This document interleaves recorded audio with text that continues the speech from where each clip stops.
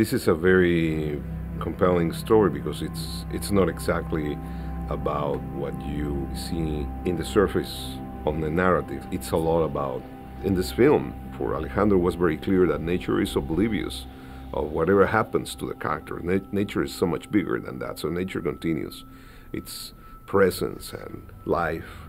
And these little ants, they are there and they have their own tragedy. You had these two stallions, Leonardo DiCaprio character and the Tom Hardy character, Glass and Fitzgerald, you know, butting heads with each other, both arrogant, both wanting to control things, and through the course of the film, both of them lose control.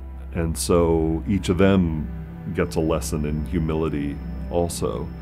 I think for me as a sound designer, Uh, well, I also get a lesson in, in humility in, in, the sense that what's presented to us by the real world in the way of sounds is so rich. What we need to do is just figure out how to select which kinds of sounds to use at any given moment in a movie. It's not about, I think, usually what we think it's about or want it to be about, which is us creating sounds, us you know, manipulating sounds. I think as as sound designers and editors and mixers, we need to be humble enough to realize the magic in the sounds that are around us and use them.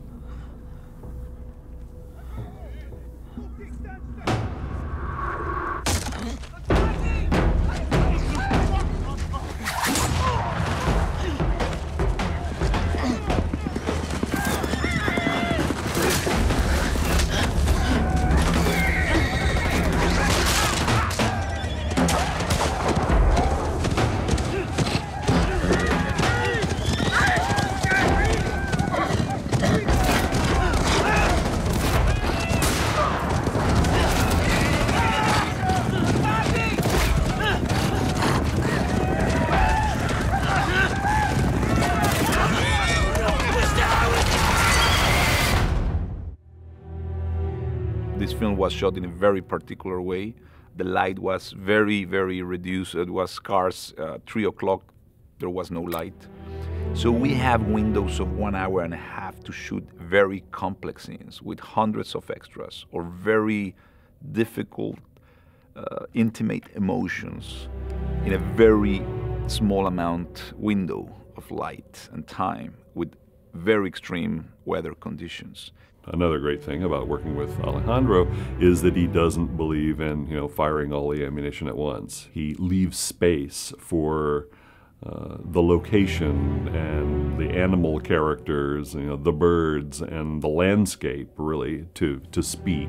For me, there are wonderful spaces where there's very little dialogue, where the landscape and nature really does become a character in this movie and Alejandro opened the door for that to happen. And likewise, there are purely musical moments where you hear, hear very little in the way of sound design or sound effects.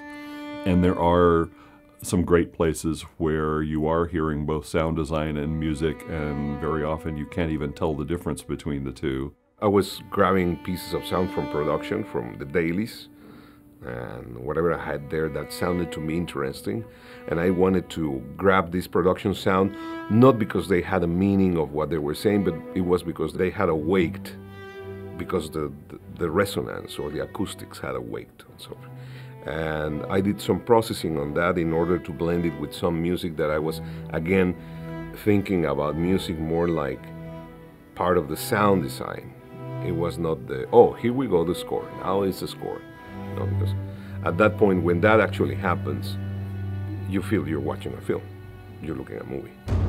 Martin knew very well that Alejandro wanted this film to be authentic, to sound authentic, but without being in a kind of straitjacket of authenticity where you can't be expressive at all or emotionally evocative. But it had to be absolutely natural, organic, authentic, believable, we had to get the impression that it was Glass's point of view.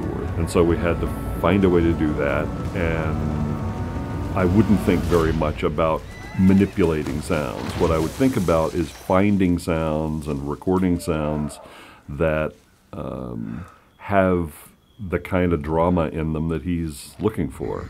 Uh, for instance, in the bear sequence, when you're doing uh, creature vocalizations, it's a little like you're directing an actor in the sense that you can uh, make this bear actor kind of overact, uh, which is a little bit what I did on the first pass, or you can get the bear to underplay it, which is exactly what Alejandro wanted. He didn't want every moment filled with a bear growl or grunt or vocalization he wanted there to be some empty spaces, which there would be uh, in a situation like that. You know, the bear is not going to be you know, raging every uh, moment for this uh, several minutes that uh, the attack goes on.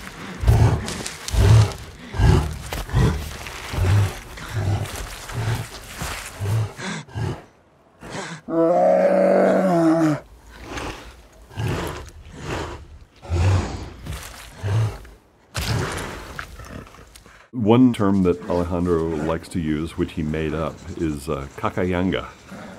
And uh, what it means is essentially noise, um, sounds that you wouldn't necessarily ever design into a scene, but nevertheless are completely believable for that given location. And so very often he'd say, you know, I think this uh, moment needs more cacayanga meaning uh, some kind of off-screen noise uh, that doesn't necessarily speak directly to what's happening on screen, but has some kind of emotional resonance with what's happening there and also performs the function of making it more believable because that's the way the real world works. Everything isn't controlled and precise and predictable, and very often there are things happening off screen that you wouldn't have anticipated. And so it, it, you know, Cacayanga makes a scene play more naturally and more believable very often. Obviously, you could go overboard with it and have constant uh, kind of non sequitur noises off camera, but uh, as long as you, you know, don't do it too often, I, I think it's a great approach.